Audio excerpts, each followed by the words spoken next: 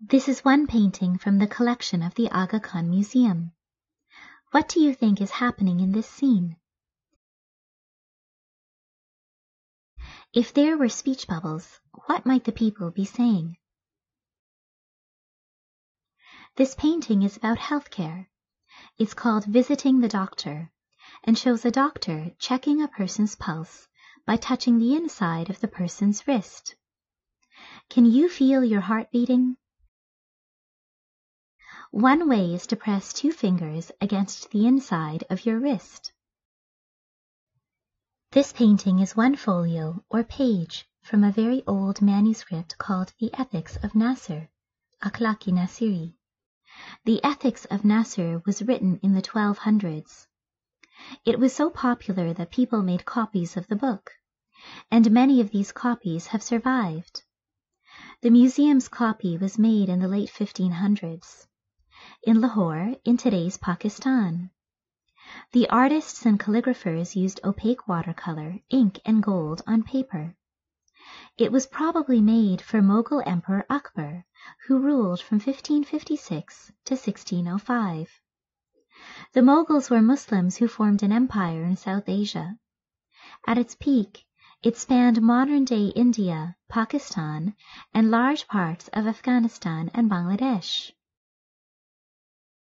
Akbar was illiterate and could not read, but he enjoyed having this book read aloud to him. The language is Farsi, which is written and read from right to left. The Farsi shown here is an older Farsi that sounds a bit different from the Farsi that people speak today. The writing is not a complete sentence or idea.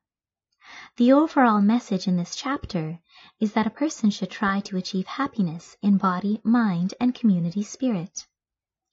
Let's listen to some modern day Farsi saying happiness in body, mind, and community spirit. سعادت بر سه گونه است سعادت روان سعادت تن و سعادت بیرونی the manuscript has 30 chapters about many topics, including the importance of prayer and fasting, being honest in business, motherly love, not letting children eat or sleep too much, and treating people well.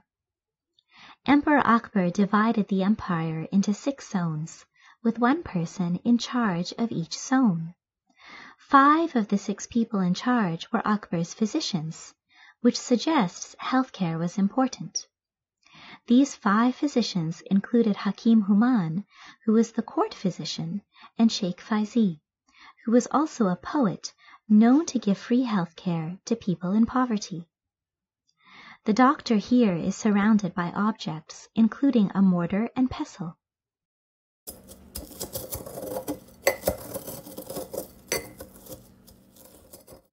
The doctor may be ready to prepare medicine for his patients. There were different types of medicines, including powders, pastes, and syrups.